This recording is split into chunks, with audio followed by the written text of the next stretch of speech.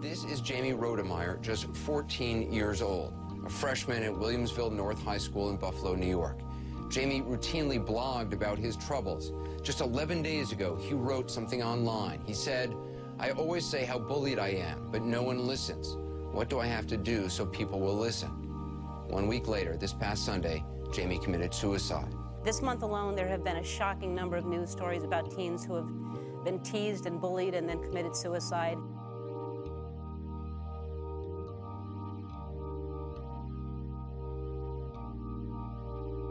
Students at a local school are grieving a classmate tonight. Friends say the young man took his own life because he couldn't take any more bullying. It's a nationwide problem that Elaine Quijano tells us was painfully highlighted this week by the suicide of a high school freshman from Buffalo. Tyler was a bright student at Rutgers University whose life was senselessly cut short. The bullying happens every day in school and online.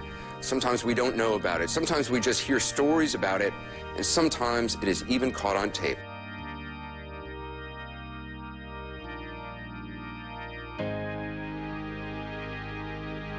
We've got to dispel this myth that bullying is just a normal rite of passage, that it's some inevitable part of growing up.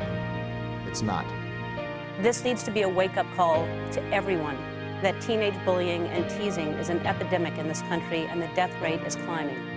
If one bully gets this message and says, thinks about it and says, I'm not going to make another child feel that way, she did it. He was a nice little boy.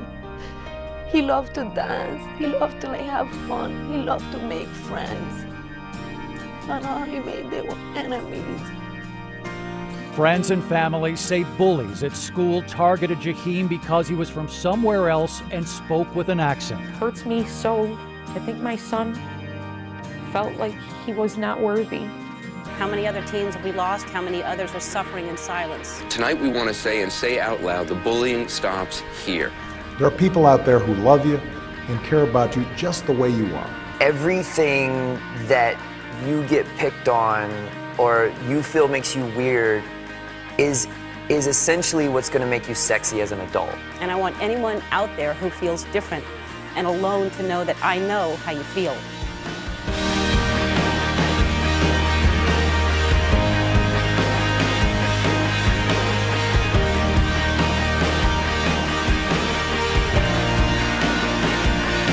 I think being more heroic means trusting yourself and knowing in your heart that you know what's right for you. At the end of the day, like we are here just to spread love. Mhm. We are here to empower and inspire people. And that in itself is much bigger than any challenge that could ever present itself. I think people are heroes every day, but I love that it's be more heroic because we can always be doing a little bit better. If you ever feel like you are under attack, just think of everyone who is on your side. Your pride is not dependent on what names strangers call you. Step in stride with this movement and fly with me. Look at how high we can be on love. We can tie our capes on and walk into this sun. It may burn at first, but I know we can make it if we stand as one.